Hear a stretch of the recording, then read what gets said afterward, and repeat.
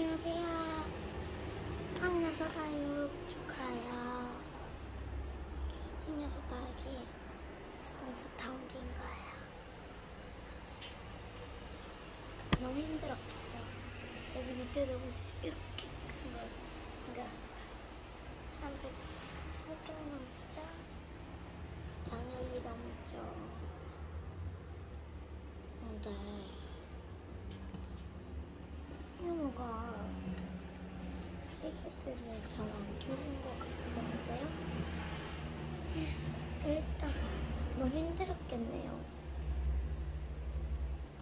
자 여기 여기서 구독, 좋아요, 알림 꼭꼭 눌러주시고요. 사랑합니다. 안녕서 다요 조카였습니다. 그럼 안녕.